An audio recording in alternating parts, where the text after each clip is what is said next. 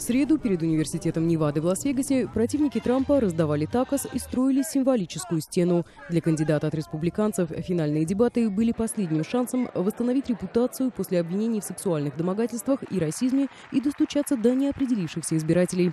Политтехнологи советовали ему отойти от ультраконсервативной риторики, но нью-йоркский миллионер остался верен себе. Дебаты он начал с выступлений против абортов, защиты права на ношение оружия и призывом к депортации нелегальных мигрантов и строительству строительству стены на границе с Мексикой. Я хочу построить стену, она нам нужна. Одним из моих первых указов будет выгнать из страны всех наркобаронов, всех плохих людей. Мы укрепим границу и затем решим, что делать со всеми остальными.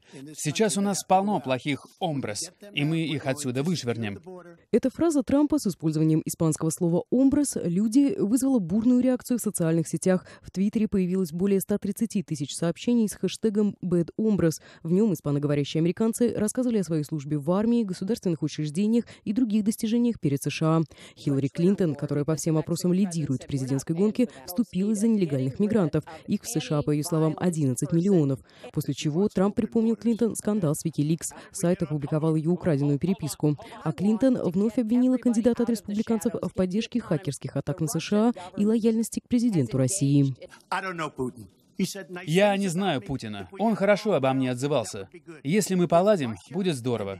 Если США и Россия поладят и вместе выступят против ИГИЛ, это будет хорошо.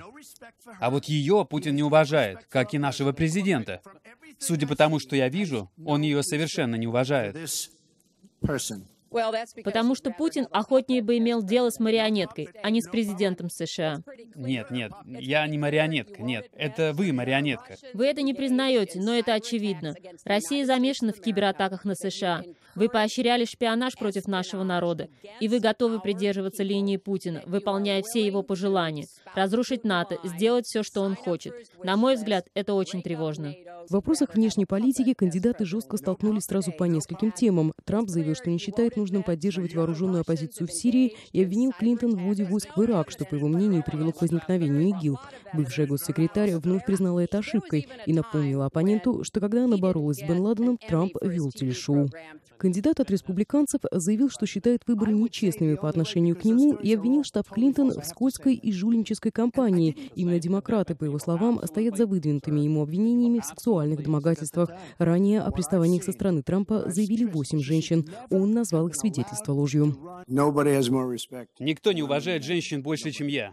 После чего Трамп назвал своего оппонента мерзкой женщиной. Пользователи соцсетей отреагировали на это высказывание тремястами тысячами возмущенных твитов.